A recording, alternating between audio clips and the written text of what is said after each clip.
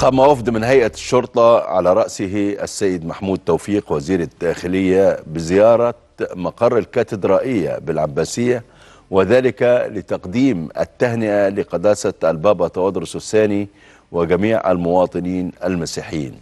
أعرب السيد محمود توفيق وزير الداخلية عن صادق تهانيه وكامل تهاني هيئة الشرطة بمناسبة عيد الميلاد وقال إن تلك المناسبة نستلهم منها مشاعر السلام والمحبة وأشاد السيد محمود توفيق بالدور الوطني المشرف للكنيسة المصرية والذي ظل على مدار العصور مثلا يحتذى في إعلاء قيم التسامح والإخاء بين كافة أبناء الوطن.